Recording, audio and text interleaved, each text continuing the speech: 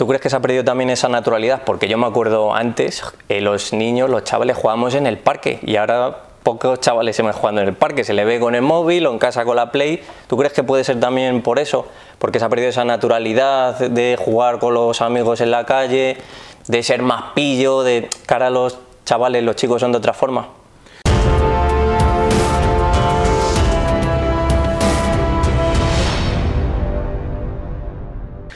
Yo creo que lo que se pierden son, son horas de práctica.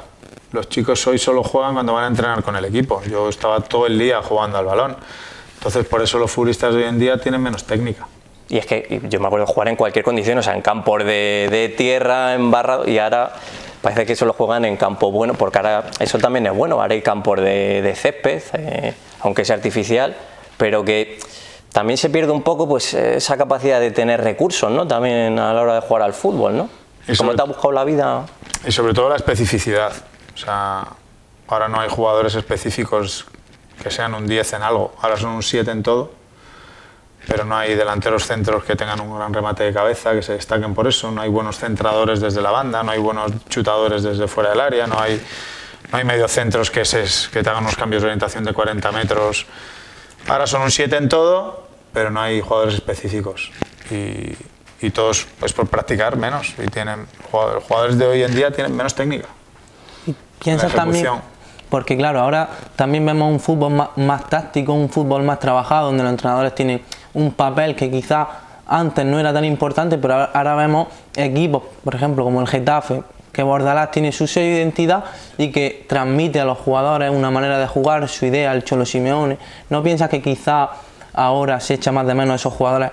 Pues como tú dices, que el entrenador encara, porque el fútbol es más táctico y quizás se necesitan ese tipo de jugadores más ahora que antes. Volverá porque es cíclico.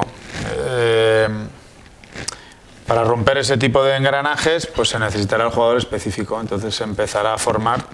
De hecho, ya en países que se está haciendo, se está volviendo a trabajar mucho más de manera analítica lo que es la ejecución y lo que tienes que tener en función de tu posición en el campo. ¿no? Eh, no puede entrenar lo mismo un central que un delantero centro.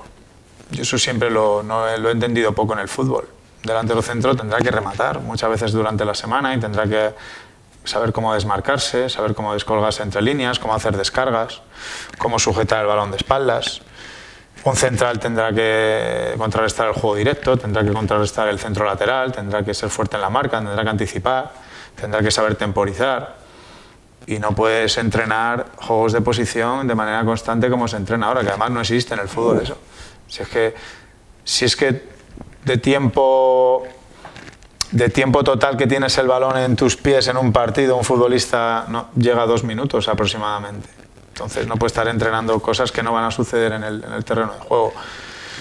Yo por eso no soy muy, no creo mucho en, el, en la metodología de entrenamiento que se aplica actualmente es más entretenida para el jugador y esto de que no, que encuentren ellos las soluciones, el jugador tiene que ser inteligente, la teoría está fenomenal. Pero luego la práctica te requiere otras cosas muy diferentes. La competición requiere otras cosas muy diferentes. Aparte de la comprensión de lo que está pasando, es una ejecución en mucha velocidad porque lo que tú dices, ahora la táctica te da menos tiempo y menos espacio para que la, la calidad pueda lucir. Entonces, ¿Tu, ¿Tus tipos de entrenamiento cómo eran? ¿Más de la manera que a ti te gusta o un poco más asemejada a ese cambio? Yo es que no, yo no he entrenado a un equipo, yo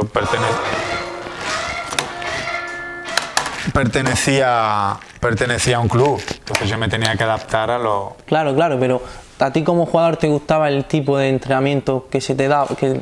A mí me encantaba porque yo cuando llegué a Primera División centraba fenomenal. ¿Por qué? Porque yo me he tirado ahí en la banda aparcado y haciendo unos contra unos y paredes y centro y cambio de orientación y controlaba y centro y tal. Claro, por eso luego centraba bien.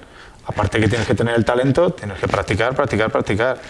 Y el que remata muy bien de cabeza, exactamente lo mismo. Y el medio centro tendrá que hacer controles perfilados, cambio de perfil, cambio de orientación, una vez tras otra, tras otra, porque es lo que se va a encontrar en la, en la competición. A mí me, me gustaría que el entrenamiento fuera muy aplicado a lo que te encuentras en la, competición y en algún momento del entrenamiento pues algo más distendido para que el, el futbolista también se, se, divierta, pero en el resto de deportes no pasa. El tenista entrena lo que, va, lo que va a entrenar en la competición, el baloncestista entrena no entrenan por divertirse. El fútbol está como instaurado que el, entrenamiento tiene que ser también muy divertido, todo integrado. Pues mentira, porque, es, porque la integración no, no, no existe, no es real. Eso hay, yo tengo muchas dudas con eso y bueno, hay diferentes. Yo respeto a todo el mundo que tenga su idea y mi idea es esa, mi idea es que tiene que estar lo más cercano a lo que te vas a encontrar en la competición. Entonces tu método también cuando has estado entrenando más bien en la cantera del Real Madrid era ese, ¿no? Un método en el que tú a los futbolistas los formabas con esa idea de, pues mira chicos, vais a encontrar esta situación en el juego.